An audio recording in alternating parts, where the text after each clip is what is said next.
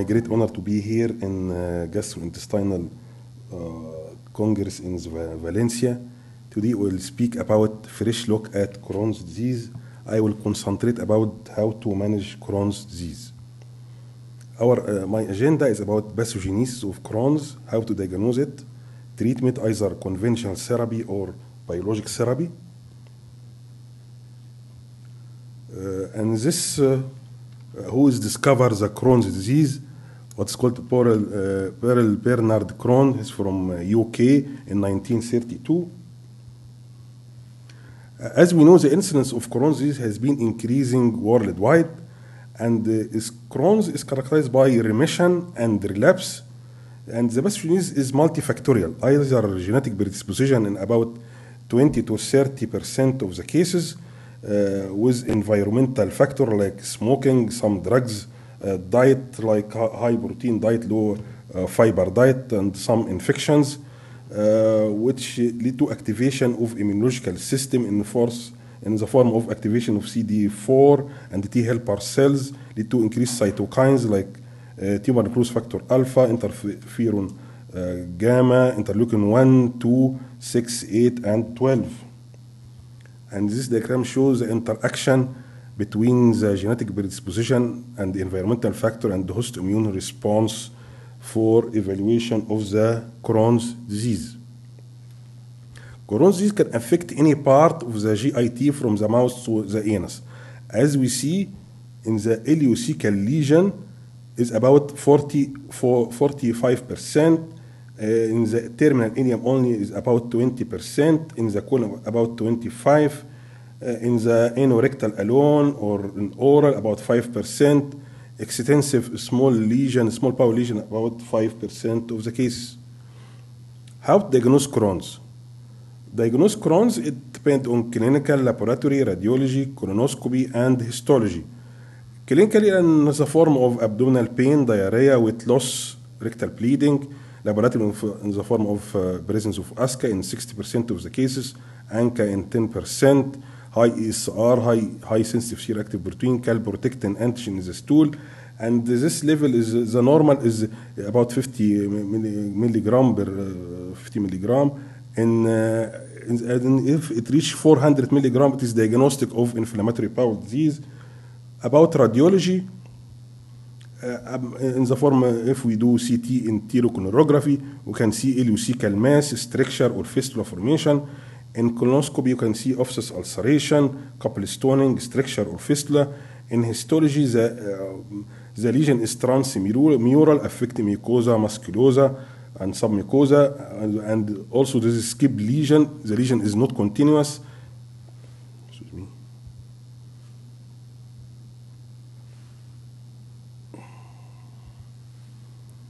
And there is granuloma formation which is called non-caseating caseating granuloma.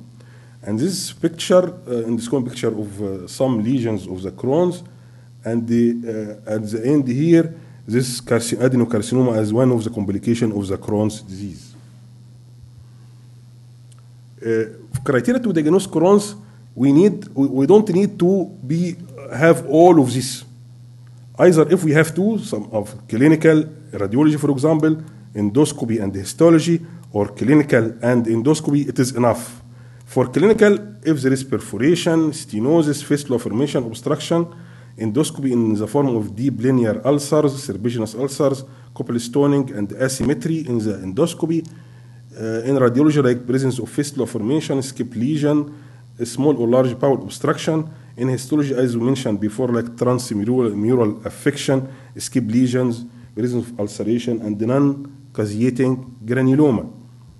Uh, sometimes the Crohn's disease presented with extraintestinal manifesta- manifestation, and maybe it's the early manifestation of the Crohn's disease before the intestinal lesions appear in the form of sclerosing cholangitis, ankylosing spondylitis, erythema nodosum, biodermic ankylosum, and episcleritis and uveitis. How to treat Crohn's? We must know no medications cures the Crohn's disease till now. All our medications are to, to induce remission.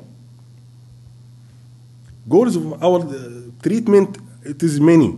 The first is clinical improvement of the patient, then induction of remission, maintain the remission, maintain, minimize side effect of the medication given, weaning of steroid, maintain tissue healing, uh, decrease hospitalization and surgical intervention for Crohn's, prevention of complication, change natural course of the disease, and finally improve quality of life.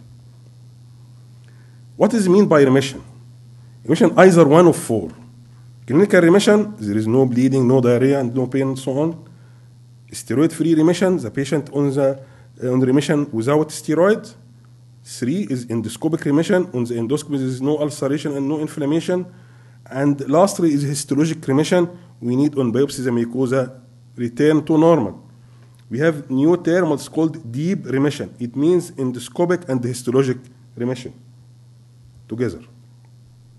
We have poor clinical or prognostic, signs on the, for uh, Crohn's disease. If we find it, means this patient has poor prognosis and recurrent relapse. If the patient is young, with loss of body weight, high ASCA with high calprotectin level, for example, in presence of perianal disease, extensive lesions, three or more locations, deep ulceration in the endoscopy, and the presence of severe upper GIT disease. This medication used in Crohn's, I will speak a little bit one by one. First, we do a diet and lifestyle modification. We use a low residue diet, avoid lactose containing food in patients with lactose intolerance. Fish oil can help reduce that chance of relapse. Uh, vitamin supplements in the form of vitamin B12 and fat soluble vitamins. Uh, and we must stop smoking. Uh, aminosalicylate in form uh, 5 ASA indicated in mild to moderate colonic Crohn's, not used, not used in, in small intestinal Crohn's. They can, can be used in maintain remission of Crohn's disease after surgery. We have a lot of preparation uh, of, uh, of 5-ASA. Uh, we have sulfasalazine side effects like nausea, abdominal pain, heart, uh, headache, uh, hepatitis, and kidney inflammation. Uh, but the mesalazine, uh, they don't have this uh, side effect because they don't have sulfapyridine component. Uh, with, we have some contraindication for the 5 aminosalicylic acid in the form of allergy to aspirin, and it should not be given in patients with renal diseases. The dose was starting with the total dose about 4 gram per day, and we know some preparation uh, other than tablet like enema which contain 4 gram or suppository about uh, 500 milligram can use in bronchitis. Uh, and we must know this 5-ASA can modify chemically, chemically to escape absorption by the stomach and the upper intestine to open directly in the colon. We must to eliminate the infection in the form of we can use metronidazole or ciprofloxacin in cases of colonic uh, Crohn's disease or presence of fistula or abscesses. Rifaximin also it can help. Clarithromycin and some data from uh, you can use helminthic therapy and the probiotic and in the India we can use it some they use some herbal therapy. What about the corticosteroids? Indicated in moderate, mild to moderate Crohn's disease or failure to, uh, to respond to 5-aminosalicylic acid in cases of chronic colonic Crohn's.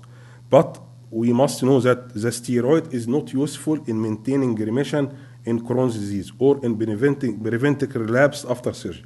So it must not be used for maintenance therapy, just for induction of remission only. We have uh, two preparations, either systemic, ribonidazole, uh, or locally acting, like budesonide.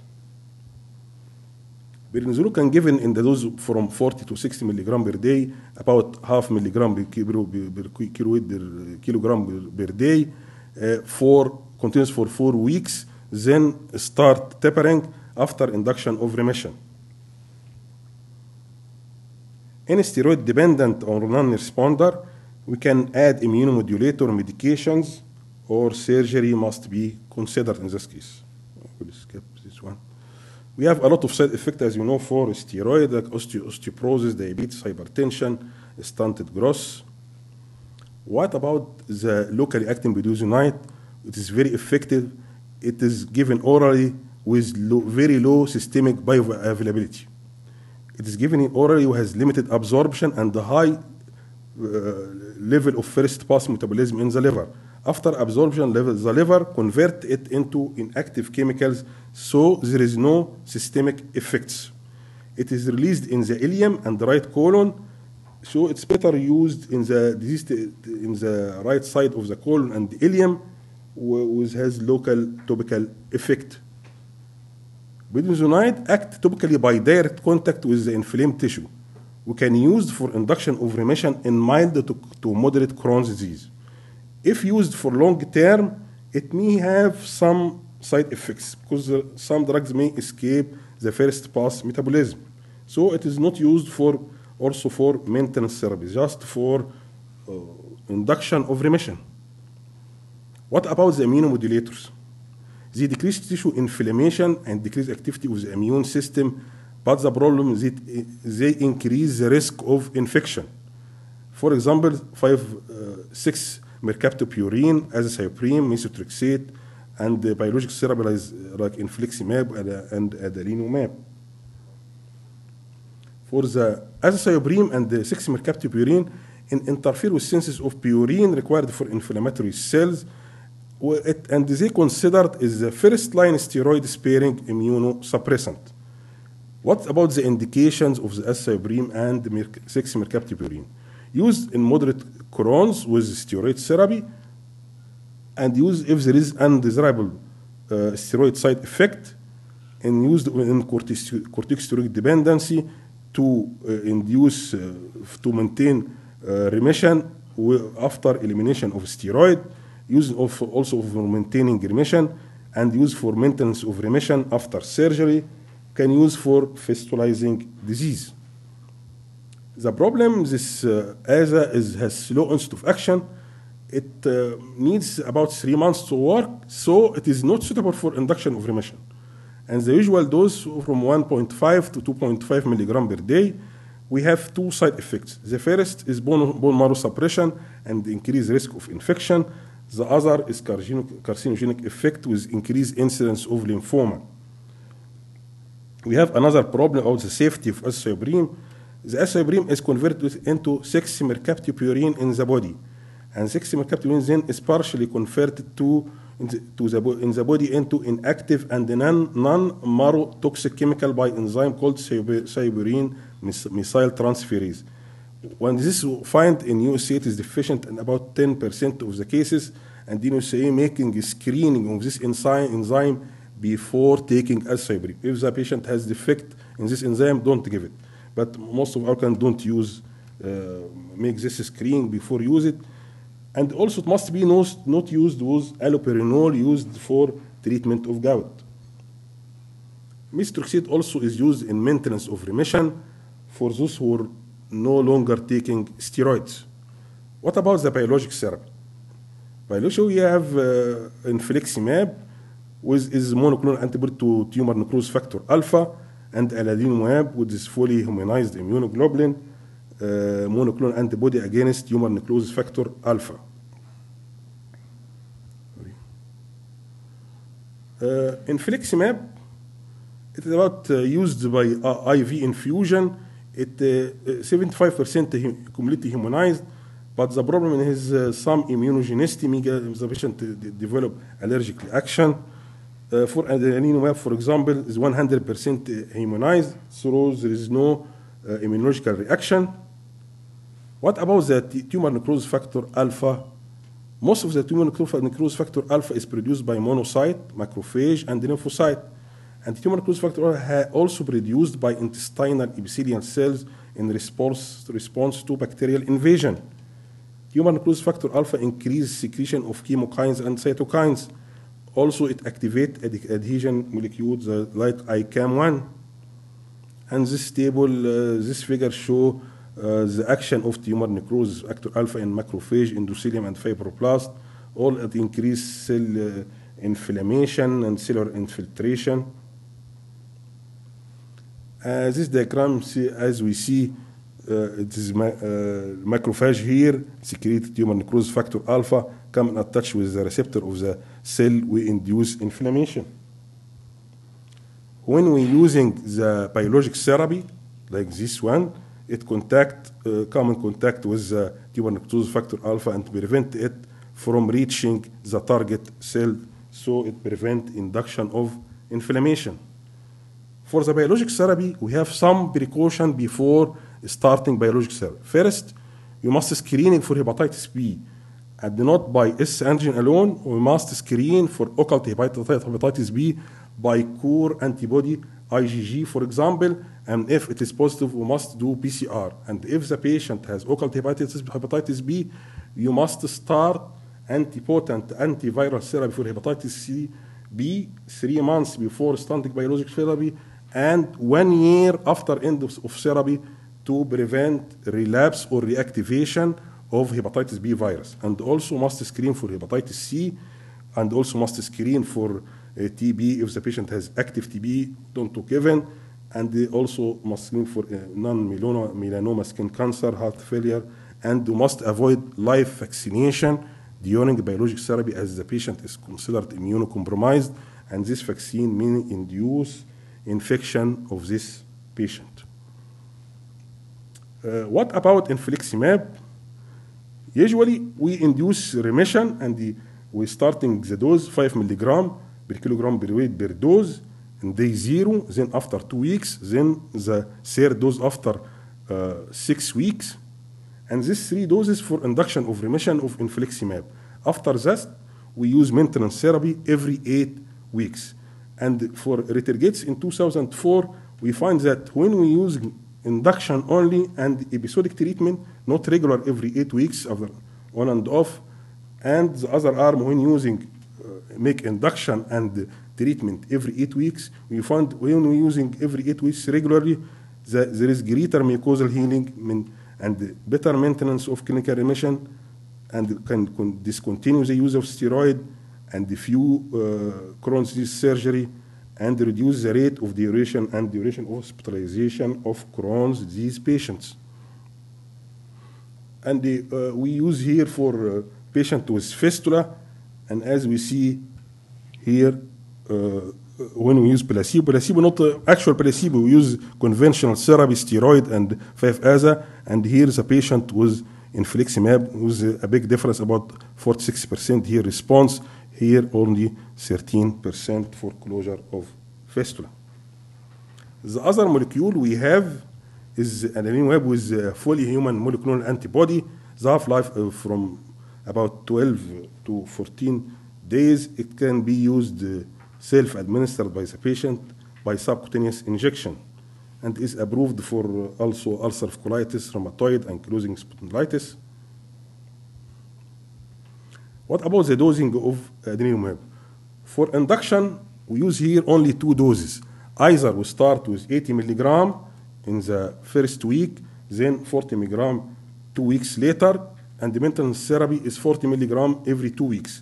Or start one, by 160 milligram first week, and 80 milligram and week two, and, and week four, 40 milligram, and this three dose is the induction dose, and 40 milligram every two weeks as maintenance.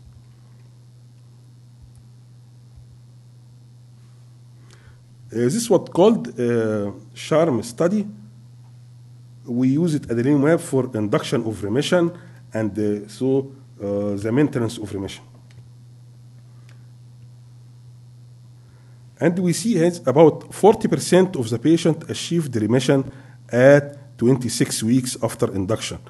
And about 81% of the patient who achieved the remission here maintain the remission till uh, 56 weeks later on. And this study about uh, use about 854 patients. Also, uh, using of the adalimumab is decrease uh, hospitalization of the patient, as we we see here. When we see placebo as as and steroid, the rate hospitalization of the patient about 26 percent and for patient using adalimumab about 11 or 12 percent. and also it decrease the rate of uh, surgery. Here for the placebo, the placebo arm, surgery is about 4.2%. For the patient uh, with adalimumab, either 0.4 or 0.8%. For the patient with fistula formation, when we treated, for the patient uh, uh, with fistula formation, as here, is closure was about in 13 uh, 13% in the um, group from 33 to 30 percent. And we can uh, induce uh, steroid-free remission in about 20, 29% of the cases with Crohn's disease. And we're here at the end of the, of the study, uh, which took about one year, we find none of the patients taking placebo has mucosal healing at one year. And only 24% of the patient uh, had mucosal healing after wearing in adalimumab group. Finally, how to treat Crohn's? If the patient is mild, we can start with steroid to mean induction of remission. If the patient has moderate Crohn's with good predictor, as there is not, not young, uh, no extensive lesion, no oral lesions, uh, no deep ulceration, we can start uh, with steroid and cyprine. If the patient with moderate Crohn's but bad predictors, as is young, extensive lesions, or uh, deep ulcerations, or oral, we can start directly with biologic therapy, not uh, going up uh, step up therapy like before. It's better to start directly with the most potent biologic therapy to decrease the complication of the disease. And by as we all we know, if the patient is severe on fistulizing Crohn's, we must direct, start directly with biologic therapy. Surgery in Crohn's is not curative. curative. In ulcerative colitis, it is curative. If we patient with ulcerative colitis, we remove all the colon, the patient is cured. But here in Crohn's, it is not. It affects all the parts of GIT. Indicated uh, surgery, it is indicated in complicated Crohn's, as presence of fistula, small bowel obstruction, carcinoma, and fibrostenotic lesions. If the patient has inflammatory stenotic lesion, we can uh, treat it by biologic therapy. But if it is fibro, uh, no, not inflammatory, fibrotic, we must do surgery. And if the patient had resistant to treatment, the risk for, of recurrence is high in patients with perianal disease and in smokers.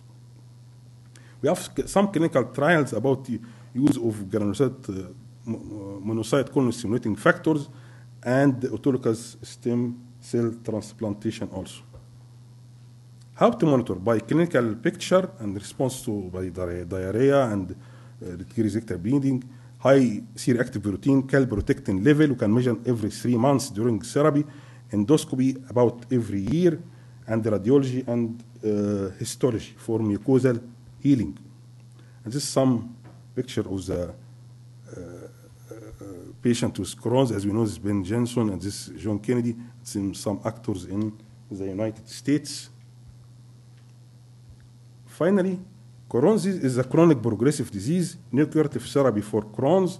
Once Crohn's, as we know from our professors, is always Crohn's. Incidence of Crohn's disease is increasing nowadays due to modern uh, li lifestyle. Crohn's disease is a common cause of lower GIT bleeding, but it is still underestimated in the world. Failure to treat Crohn's early and effectively can lead to serious complications and disability corticosteroids are not useful in maintaining remission in Crohn's disease or in preventing relapse after surgery. Budesonide is a corticosteroid with very low systemic bioavailability. 5-ASA is used in mild to moderate colonic Crohn's disease. Azathioprine and 6-mercaptopurine are not used suitable for induction of remission. Precautions before starting biologic therapy must taken about hepatitis B, C, and TB. Biologic therapy maintains clinical remission, discontinuous steroid, and achieve mucosal healing. Maintenance of biologic therapy reduces the rate and duration of hospitalization in Crohn's patient, Crohn's disease patients compared with single infusion plus episodic retreatment. Also, it reduces the number of all surgery procedure of Crohn's disease patients. Adalimumab represents an effective and well-tolerated patient self-administered therapeutic option to induce and maintain remission in patients with moderate to severe Crohn's disease. Adalimumab is also effective in maintaining corticosteroid-free remission and completely closing fistula. Corticosteroid and azathioprine used in mild and moderate Crohn's disease with good predictor. Biologic therapy used in moderate Crohn's disease with bad predictors or in severe cases. Finally, we must tailor our therapy by drug and disease monitoring in a personalized matter. Many thanks for attention.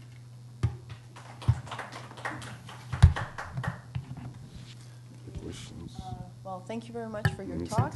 Uh, Is there any questions you would like to ask maybe concerning the treatment?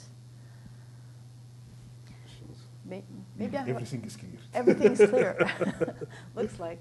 Uh, Just maybe one question. um, uh, Well, I'm, I'm coming from the research side, but is there any, any cl- clinical scores where you can uh, already define maybe, maybe a, um, some, some sort of a predictor as to where patients are going to evolve uh, to maybe? We have uh, what's called this predictor, the bad predictor of the patient. If the patient is young, if the patient has extensive lesion, uh, if the patient have uh, oral lesions, for example, if you have deep ulceration in the endoscopy, if the patient has loss of body weight, or uh, if the patient has a high uh, calprotectin antigen or lactoferrin or uh, ASCA, for example, all these are considered as bad predictor uh, for this patient. If collected together, we have some of them. You can patient has more poor prognosis. So for this patient, you can start directly with the most potent medication to prevent the complication, structure, fistula, carcinoma, and so on. the number of the area, there is mine, modern field, as you told, by schools. schools. Uh, the, the number of the area. The number of motions. Okay. There is yeah. already schools. Yeah.